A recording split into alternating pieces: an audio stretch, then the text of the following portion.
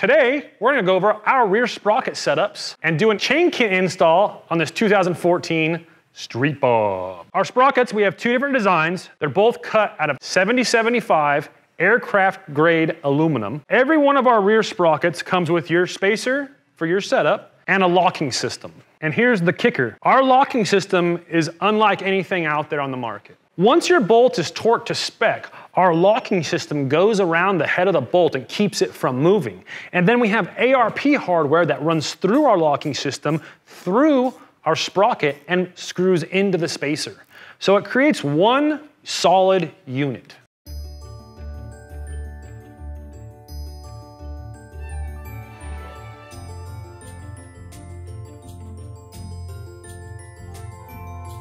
What's up everybody? Steve here from Speed Kings. Today, we're gonna go over our rear sprocket setups and do a chain kit install on this 2014 Street Bob. Street Bob! Some of you guys are probably asking yourself, why switch from a belt to a chain drive? Well, there's definitely some pros and cons to both. I like chain drives because, well, they look way fucking cooler. You can change the gearing really easily. Uh, go up and down with some of the sprocket sizing and your gearing changes on your bike. So if you want to you know, set it up kind of for the highway and get that top end speed, you can go with a smaller rear sprocket and you're down the highway. You want to set it up for some torque applications so you can kind of you know, get it up easier, your front end I mean. You can go ahead and do a 55 and boom, you get that nice torque, you're getting that nice bottom end. Easier to fix a chain on the side of the freeway than to fix a belt. But there is maintenance involved, or a belt there's not. You belt, you just kind of fucking run it for 200,000 miles and, and change it. But you gotta remove your inner and outer primary and everything in between to get to it though. So fuck that noise. Our sprockets, we have two different designs. They're both cut out of 7075 aircraft grade aluminum. They're of my own design, and here's the kicker. Every one of our rear sprockets comes with your spacer for your setup and a locking system. Our locking system is unlike anything out there on the market. Once your bolt is torqued to spec, our locking system goes around the head of the bolt and keeps it from moving. And then we have ARP hardware that runs through our locking system, through our sprocket, and screws into the spacer. So it creates one solid unit. So you're only able to use our spacer and our locking system on our sprockets. We have yet to have anybody spin out one of our sprockets. Nobody can say that. I bet you're asking yourself, why run a locking system? Well, in a lot of applications lately over the last few years with a lot of guys switching to chain drives, they've had their bolts backing out. Could be from not running new bolts every time. One of the rules to thumb is you always put in new bolts. Once you've torqued a bolt to spec, the threads stretch it's done. That's the last thing you wanna worry about when you're out doing 120 in Mulholland Drive, brother. Always put in new bolts. Our kit comes with new bolts, so you're good to go when you purchase this kit. We have the two different patterns. We call this one the nine spoke, as it has nine spokes. And we call this one the star, because it's a star. They're available in two different finishes. You have your gold and you have your black. Now you can mix match some fun things with the colors. So you can do a black sprocket with a gold locking system and gold spacer, or a gold sprocket with a black locking system and black spacer, or all gold, all black. So that's kind of cool, giving you guys some options out there. All of our sprockets are available in three teeth counts, 51, 53, and 55. They will work with all your Dyna models, and they are available for 04 Up Sportster. We are working on some FXR applications and bagger applications and things like that, so give us some time, stay tuned as we get through that. All of our parts here are made in USA, right here in Southern California. Our full kit applications will come with your spacer, your locker, your rear sprocket with your hardware, your front sprocket, and your chain color of choice. These things, we have them on some high horsepower applications. We're actually getting ready to put one on a drag bike soon. So we're really testing these out. All of our stunt riders are running them right now with their M8 motors that are putting out some serious horsepower and have had zero issues with them. You can find these chain kits and other chain kits at speed-kingcycle.com. Get with it. So before we break into this thing, there's a few things I want to talk about. One, don't do this without a manual, okay? They're fucking $10 on eBay. Download a manual, okay? Torque specs and procedure are important. That's rule number one. Two, there are a couple special tools you need to do this job. Probably should get those out. One of the tools you're going to need is this giant fucking socket. The main shafts will go inside the socket in there. And that way you can get your main shaft nut off. get these on eBay for like 60 bucks or something. Get one, don't cheap out. This, you're gonna need a high torque impact wrench. It just, those fuckers are on there. You're gonna need a torque wrench because torque spec is important. Uh, you're gonna need common sense. You will need a chain braking tool, which unfortunately mine broke last night, so I'm gonna show you the um, dumb way to do it. And you're gonna need like a chain press tool, which those can all be bought at speed-kingscycle.com. First off, we're gonna drain our primary fluid. Make sure you warm the bike up, get it nice and hot. Viscosity is a bit more broken down, it's a little thinner fluid, and it'll drain better. Let it drain, let the bike cool off a little while because things will be hot. Now that we got it drained, we're gonna go ahead and pull our derby cover off, and we're gonna spray some contact cleaner in there, kind of get some more of the residue off as much we can to drain into the oil pan here. What I like to do is go through with the ratchet and break everything loose first. And then to speed things along, I'll put them on my impact. I don't really like to break them loose with the impact as much if I can avoid it, because that's how you break screws. And I usually always have a rag laid out to lay all the parts and pieces kind of in order and in, you know, together. I don't like just throwing everything in a, a bucket. I've seen other companies just use your derby cover for a bowl and put all your shit in the derby cover on the ground. It's amazing, but not me. Just a little disclaimer. I'm not a fucking mechanic, all right? I learned just learn how to do this stuff. These are more or less guidelines. Don't judge me, all right? For you guys who like to do shit at home, check this out. While that's kind of dripping now, we'll go ahead and pull our foot peg mount off, and we'll pull our shifter arm off.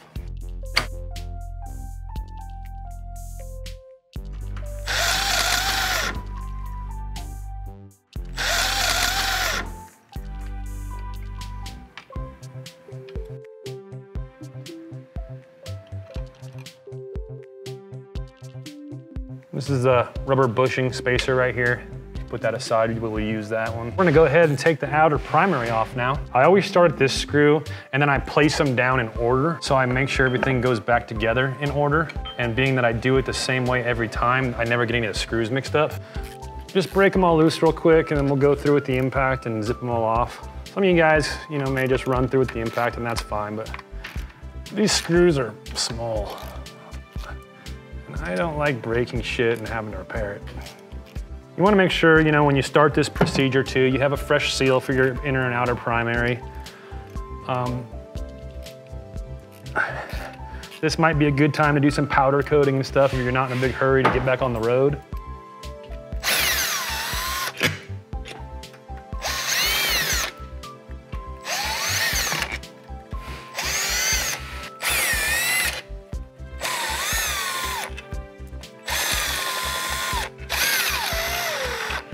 This oil pan is made by Harley Davidson. It's a Harley Davidson oil pan. I really like these oil pans. They have a nice big footprint area. Um, they're super low profile. They're made to go underneath your bike. This is the best oil pans I've ever found because um, I'm sure I'm gonna get some questions on, hey, where'd you get that oil pan? Harley Davidson, ordered it online. I have two of them, they're the best.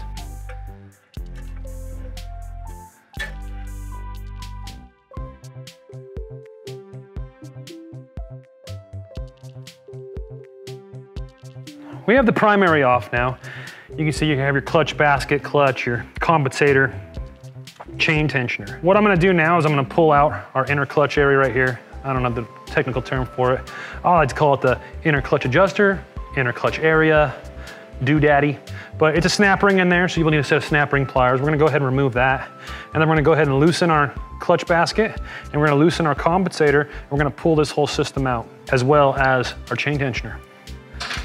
So before we go ahead and tackle the clutch, we're gonna go ahead and just loosen the clutch adjustment right here. Get it nice and loosey-goosey.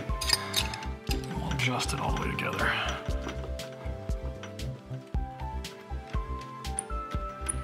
There we go. Snap ring pliers, a nice set is key for anything. These snap-on ones came in a set of like five or six snap ring pliers, been the best set I've ever had. But be careful, this snap ring in particular is very fucking strong. So um, you wanna be careful. You wanna kind of protect it with your hand, maybe even a rag. It can fling the fuck off and just really fucking do some damage to, uh, you know, everything around you. Now this is the only item on the whole system that is reverse thread. It's not gonna be your normal thread. It's not gonna be righty-tighty, lefty-loosey. It's gonna be righty-loosey, lefty-tighty. And that's also probably a socket you may not have in your repertoire of sockets. It's a big ass fucking socket, so you may have to purchase that. That's up to you though. So I guess there's more than the other specialty tool we talked about. There's like this Jim's bar. It's gonna span on your primary chain teeth over to your compensator. All right, so let's get in here and break this loose. Some of this stuff is kind of high torque stuff, so you're gonna have to use your, your torque tools to get it loose the first time. We're gonna crack the compensator loose, and then we'll go ahead and remove our tensioner. Um, this will just help kind of keep some tension on the, on the chain, just to get that compensating bolt loose. This is a pretty big Torx. It's a T70. It's large. That's what she said. I just found it in a kit from Harbor Freight. So it's a Pittsburgh tool, so you know where I got mine. A lot of people will tell you too that this bolt is only one-time use. Use that as your own discretion. I personally have reused this bolt on many bikes with no issues whatsoever. It's a hardened steel bolt. I use red Loctite on it. I've never had it come loose, come out. I even did, even on my own bike. So again, not a mechanic.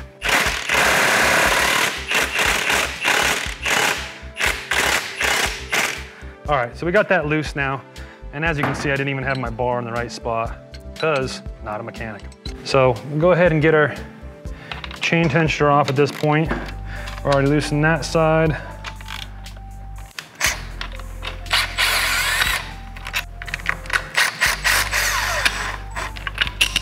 Okay, so now we're gonna pull the compensator out all the way.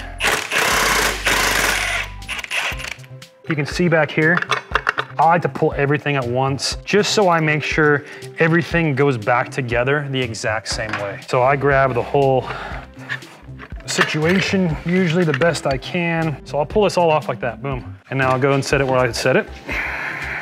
I'll grab these two that I missed and I'm gonna go ahead and just place them where they need to be. Um, just so everything is, is right.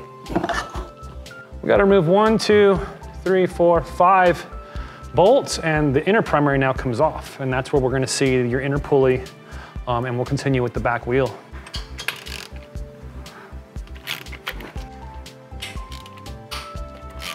This procedure is not very difficult to do. Um, if you have some mechanical abilities and you've done some of our other videos like your fork tubes and things like that where we've kind of got more in depth, this is just your next step. But it is important to have a manual. I'm gonna break my manual out once we start putting everything back together. I've done a few of these chain drive installations, but I still refer to my manual for all my torque specs and everything because I can't remember them. So these are all the same size, same length.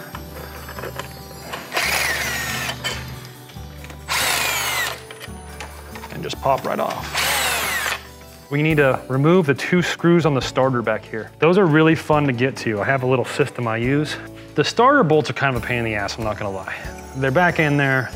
They're not exactly like straight accessible. I have this fancy snap-on extension. And at the top here, you can see how it's stepped. Well, if you only put it on the first notch, it makes it like kind of a swivel. So this works out really well to get those off. There we go. I wanna keep the two screws in the ear of the starter. So now, just kind of get everything pulled out the shift shaft out and inner primaries off. We'll get this cleaned up before we put it back together. We'll break this loose. I like to try to keep the pulley and everything intact until we break the main shaft nut loose, and then we'll go ahead and, and cut the belt off. The main shaft bolt, you have these two screws right here. They're basically just lock screws to lock in your main shaft nut.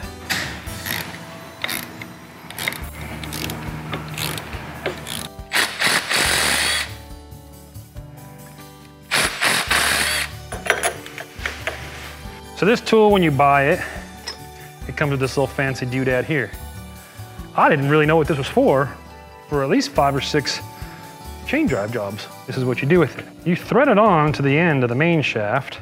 That way you're not able to bend your socket and the main shaft doesn't get bent. I don't like threading it all the way on because it gets stuck and then it's a pain in the ass. But it's pretty, pretty fancy and then boom, it just holds it in place. Now, these are can be a pain in the ass and you need a high torque impact to get these off. We can use a little bit of heat on here. You don't want to use a whole lot because you have your main shaft seal right here. So um, we're going to try to heat up a little bit around the edge right here. See if we can get a little heat kind of going through the nut and it'll break loose.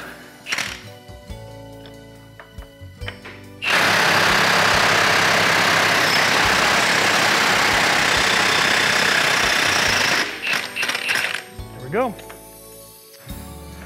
All right. So main shaft nut is off. Once we get this all, we'll go ahead and get hit through here and clean it real good. So from this point, we're gonna go ahead and cut the belt. Fuck this belt. So now that we got the belt cut off and all the primary shit removed, we're basically, remember, you're ready to remove this rear wheel, pull that pulley off, and put the rear sprocket setup on. So I got my jack, I'm gonna go ahead and lift it up, get all the bullshit off, and we'll put the rear sprocket on. Not very often do I pull the axle shaft out and see it all greased up like that. So good maintenance job on this guy.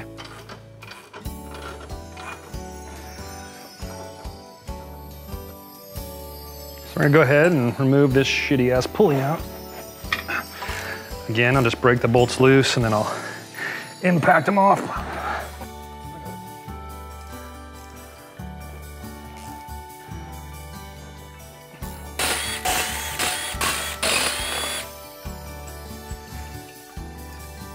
We'll just go ahead and put those in the trash right away because we won't be using these.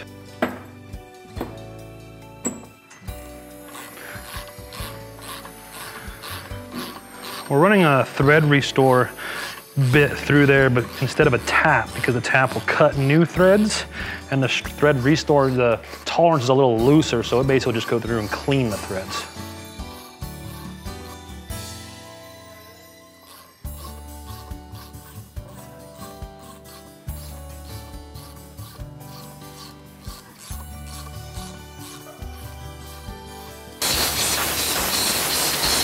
Go ahead and place your spacer, then your sprocket,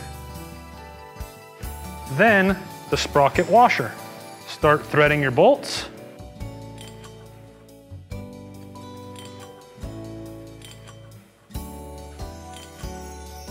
And snug them down.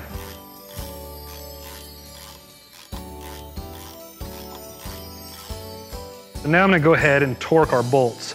I'm gonna start them at 60 pounds. Once I hit 60 pounds on all of them, then I'm gonna go back and go hit to 65.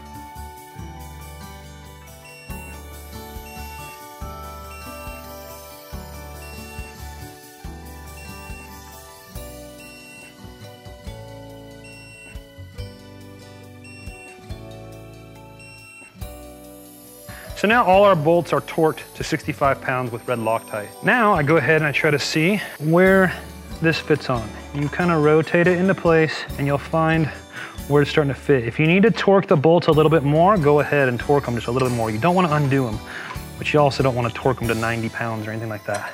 All right, that, that one, that one. Got it. You don't want to force the cap on, you want it to fall into place. If you got to lick it a little bit more, lick it a little bit more. I don't think you'll find this in your manual. Again, not a mechanic. This one, we gotta go a tiny bit more. All right, we gotta do these two a little bit more and then it should slide right on. This one just a tiny bit more. See, you can see how it's starting to just all fall into place.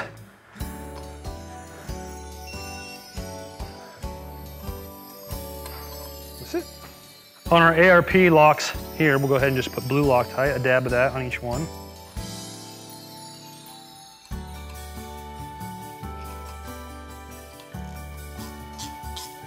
I'm just gonna snug these up with some blue Loctite.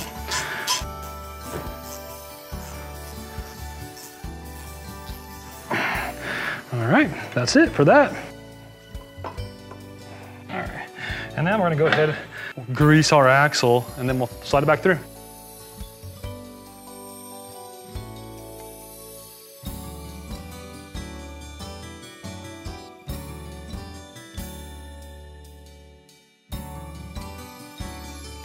Gonna go ahead and loosen my axle adjusters all the way. What I wanna do is I wanna push the whole wheel forward so when I put the chain on, that way I can put the chain as tight as I can with the links and then we'll go from there. So just these threads right here um, from the main shaft nut, you know, they might have some leftover Loctite. I like to just kind of go through and just take a wire brush and just clean them up best you can. On all of our kits, we use a PBI front sprocket, made in USA, one of the strongest front sprockets out there. All our kits are already set up with the proper offset for your year, make, model. So we get that on. We're gonna go ahead and put our retaining lock on. In most cases, because of the inset of the little lip right here on your front sprocket, you have to grind the corners a bit to fit in. So I'm just gonna check that. Yeah, so you can see that it's not gonna set in there all the way. So I'll just take it and hit, hit the corners right here just to make sure that we have clearance to go inside there.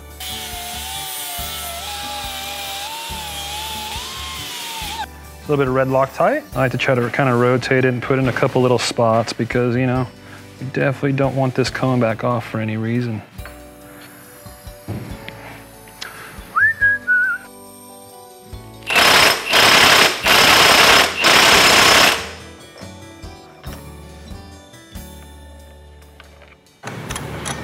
There we go.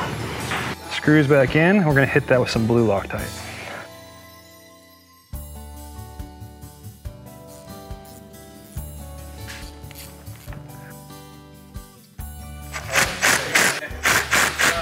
So we have our 530 chain that's just greasy as fuck. These things are so fucking gross. So I try to clean them up, but it's never very successful. You sit here for years and clean it up. So be prepared for the first time you run the chain, you're gonna be flinging some grease.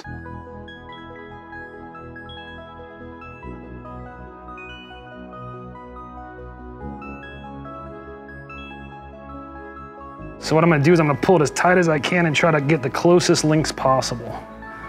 Oh, perfect, look at that. So we're gonna break this the old fashioned way where we just grind these two away. Usually we use a chain breaker tool, but I was working on something last night and I managed to break it in half. So, yeah, this isn't how it normally is done, but I'm gonna make it work. You gotta kind of try to be careful not to grind anything else.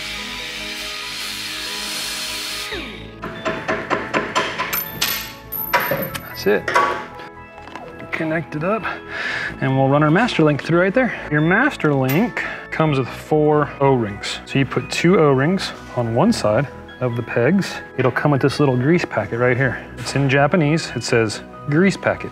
I go through and you just jam some grease on there. Boop, boop, boop, boop. And you're gonna put it through the back side. Boom, all right. You're gonna do the same with the front side. Jam some grease on there, boop, boop, boop, boop. And you're gonna put your other two O-rings on it. Boom, boom. Now your front plate is gonna go right there. And we're basically just gonna press this link through so everything actually can go together properly.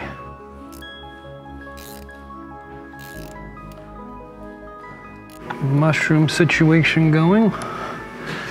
We'll go through and mushroom these out.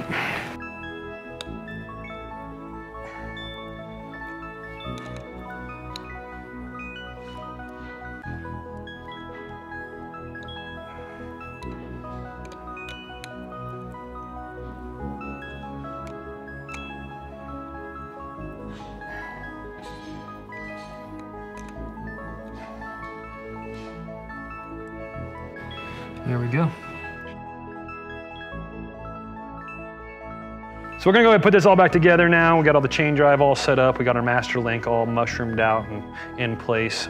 Everything's looking good there. We're gonna go ahead and put new seals on. So we'll put a new inner primary seal here. These little plastic pieces are, are just location pieces and hold it into place so you can put the inner primary on without having to have any special tricks. Make sure you put those in on the side you saw that was indented, not on the other side, because you will have to pull it back out, because they'll stick out and kind of mess up the seal. Before I put the inner primary on, I always put a dab of Loctite on the starter bolts, because they're kind of a pain in the ass to get to otherwise. And now, you know you got Loctite on them, you don't gotta worry. Feed our shift shaft through.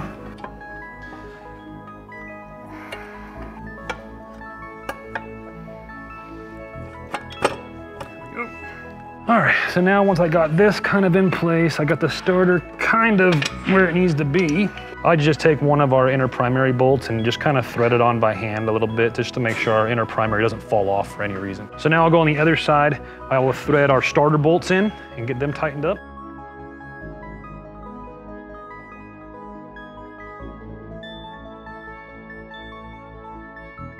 I've snugged up all of our inner primary bolts with a dab of Loctite. So I'm gonna go through and do our, our, our tighten sequence now. It's gonna go one, two, three, four, five. And we're gonna be doing it to 25 to 27 foot-pounds.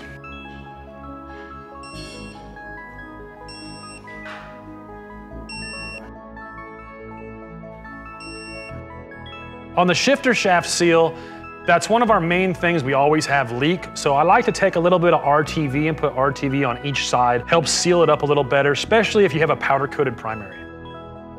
Now we're gonna go ahead and put our whole compensator and clutch basket back in. You wanna make sure that you're putting your compensator spring plates in the same order that you took them off. I'm gonna take this bolt and I'm gonna put a shit ton of red Loctite on it, torque that fucker down, and fucking run it home. There's a giant torque spec on this, but it's fucking hard for me to get it, so I just torque the shit out of it and I haven't had any issues. Again, not a mechanic. And now we're gonna go ahead and put in our primary chain tensioner. The blue Loctite to those bolts, put it in, snug it up nice and tight. When putting the bolt on the clutch hub, remember, it's reverse thread. Get that in there, torque that down,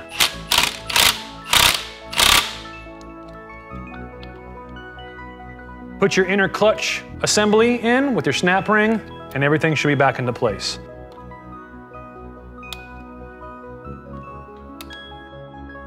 Put your outer primary on and go ahead and put your bolts in place exactly how you took them off.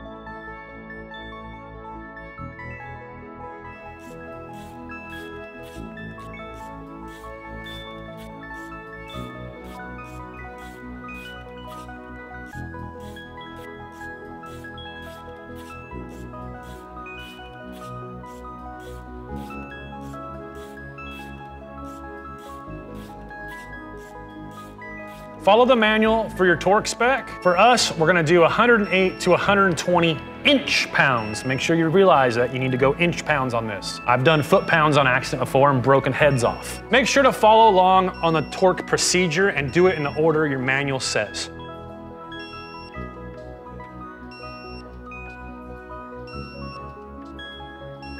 After your outer primary is on, you go ahead and start throwing everything back on, like your foot peg and your shifter and everything else. Don't forget to put your primary plug on, and we're gonna go ahead and throw our primary fluid in now. Dynas are easy, one quart, call it a day. M8s, different story. Take like a quart and a half now or some shit. Again, make sure your drain plug is in. I've done it many times. Doop, doop, doop, doop, doop. We're gonna go ahead and adjust the chain now. Put it neutral first and you're gonna wanna roll it forward on the jack, and you're gonna want the chain to walk in the center of the sprocket. So you're gonna adjust each side to move the chain. Once you have it and you have the proper slack, that's where you need to be.